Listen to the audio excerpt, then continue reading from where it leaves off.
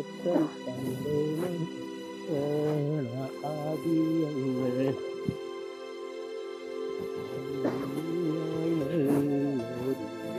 ധരിച്ച്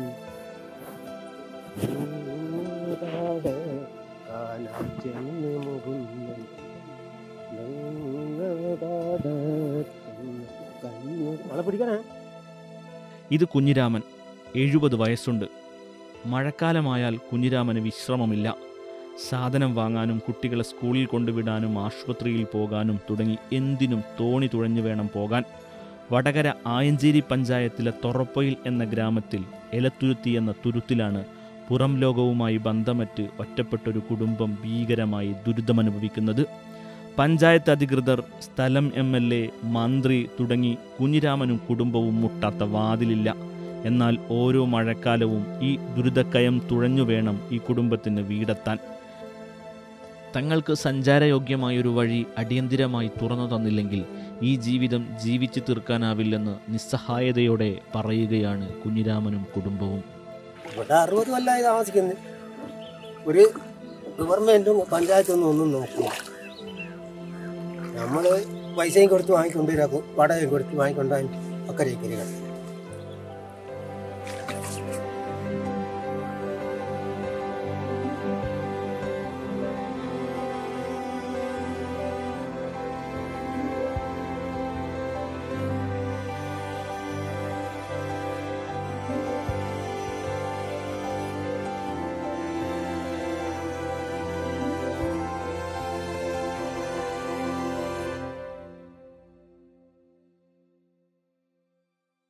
ഞാൻ അറുപത് വർഷമായി ഇവിടെ താമസിക്കുന്നത് പിന്നെ കുട്ടികളെല്ലാം സ്കൂളിൽ കൊണ്ടാക്ക് തോണി ഇല്ലെങ്കിൽ എടുത്ത് കൊണ്ടുപോകണം തോണി ഉണ്ടെങ്കിൽ രാവിലെ അക്കരെ ആക്കണം വൈകിട്ട് ഇങ്ങോട്ട് കൂട്ടണം.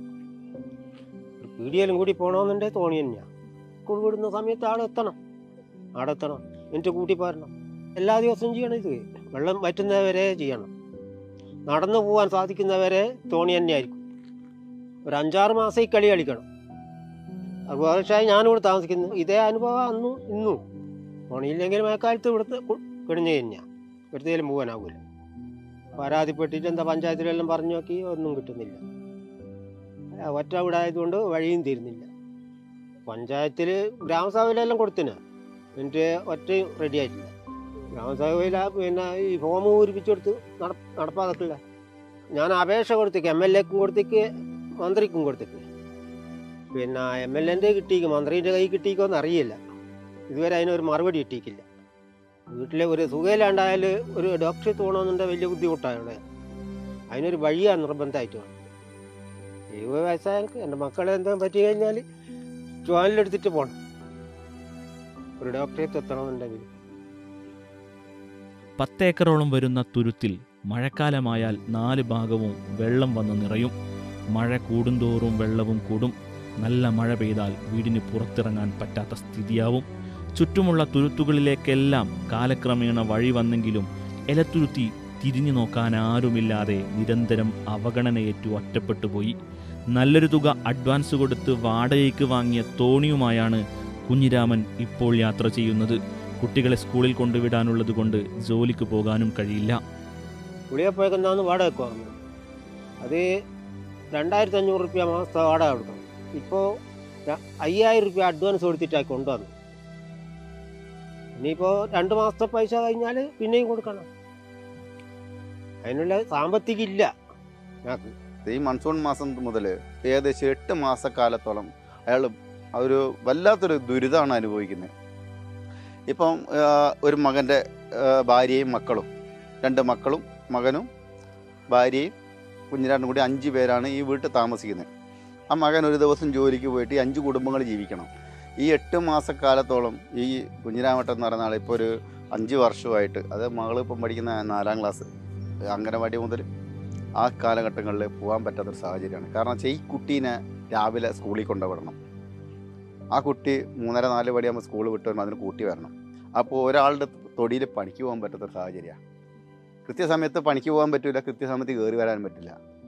ഭാര്യ വളരെ ഒരു ഭയമാണ്. ഒരു ഒമ്പത് വർഷമായുള്ള അവളെ കല്യാണം കഴിച്ചിട്ട്.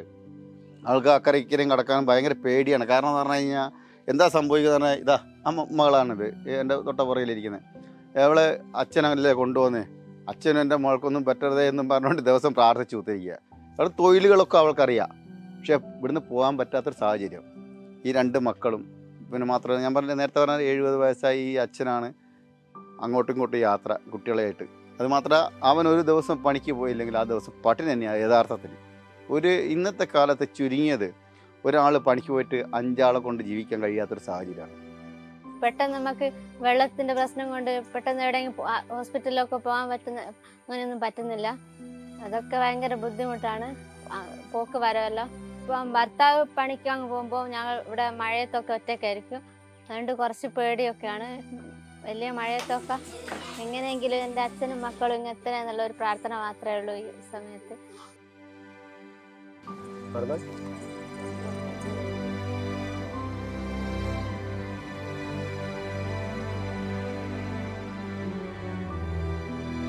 വരുന്ന വഴിക്ക് നമ്മളെ ഭാഗങ്ങൾ കണ്ടില്ല? അവിടം വരെ റോഡുകളൊക്കെ ഈ പറഞ്ഞതുപോലെ ആയിരുന്നു ഒരു കാലഘട്ടങ്ങൾ റോഡുകളൊന്നും ഉണ്ടായിരുന്നില്ല. വെറും ഒരു നടപ്പാലം ഒരു ഒരു തെങ്ങിന്റെ പാലവും ചെറിയൊരു നടവഴിയും. അത് ഇത്രത്തോളം പുരോഗമിച്ച് വന്നിട്ട് ഇപ്പോൾ ഏകദേശം ഒരു പതിനെട്ട് വർഷം കഴിഞ്ഞു. പതിനെട്ട് ഇരുപത് വർഷമായി. അപ്പോൾ ഒരു നടപ്പാതി റോഡുകളൊക്കെ വന്നിട്ട്. അതുപോലെ ഒരു വഴി പോലും ഇവിടെ ഉണ്ടാക്കി കൊടുക്കാൻ ആരും ഇതിനെ ശ്രമിച്ചില്ല എന്നുള്ളതാണ് ഏറ്റവും വലിയ യാഥാർത്ഥ്യം. അറുപത് കൊല്ലമായി കുഞ്ഞിരാമനും കുടുംബവും നേരിടുന്ന ഈ യാത്രാ പ്രശ്നത്തെക്കുറിച്ച് ഞങ്ങൾ പഞ്ചായത്ത് അധികൃതരെ സമീപിച്ചിരുന്നു. എന്നാൽ ഇതുവരെ ഈ വിഷയം ശ്രദ്ധയിൽപ്പെട്ടില്ലെന്നായിരുന്നു പഞ്ചായത്ത് സെക്രട്ടറി സുമേഷിന്റെ പ്രതികരണം. പ്രശ്നം പരിഹരിക്കാനുള്ള ഇടപെടൽ ഉണ്ടാകുമെന്ന് അയഞ്ചേരി പഞ്ചായത്ത് സെക്രട്ടറി ട്രൂക്കോ പീറ്റിങ്ങിനോട് പറഞ്ഞു. ഇത്രയും കാലം ഇങ്ങനെയൊരു വിഷയം പഞ്ചായത്തിന്റെ ശ്രദ്ധയിൽ വന്നില്ല എന്ന് പറയുന്നത് ഭരണകൂട സ്ഥാപനങ്ങൾ പൗരരുടെ ജീവിതത്തെ എത്ര നിരുത്തരവാദപരവും മനുഷ്യത്വരഹിതവുമായാണ് കാണുന്നത് എന്നതിന്റെ തെളിവാണ്. പരിഹരിക്കാനുള്ള തീരുമാനമെടുത്താൽ എളുപ്പം പരിഹരിക്കാവുന്ന വിഷയമാണിത്. തീരുമാനമെടുക്കലാണ് പ്രശ്നം. പഞ്ചായത്ത് അധികൃതരും രാഷ്ട്രീയ പാർട്ടികളും തുരുത്തിൽ ഒറ്റപ്പെട്ടുപോയ ആ കുടുംബത്തിന്റെ പ്രശ്നത്തോട് ഇനിയും മുഖം തിരിക്കുന്നത് നീതികേടാണ്.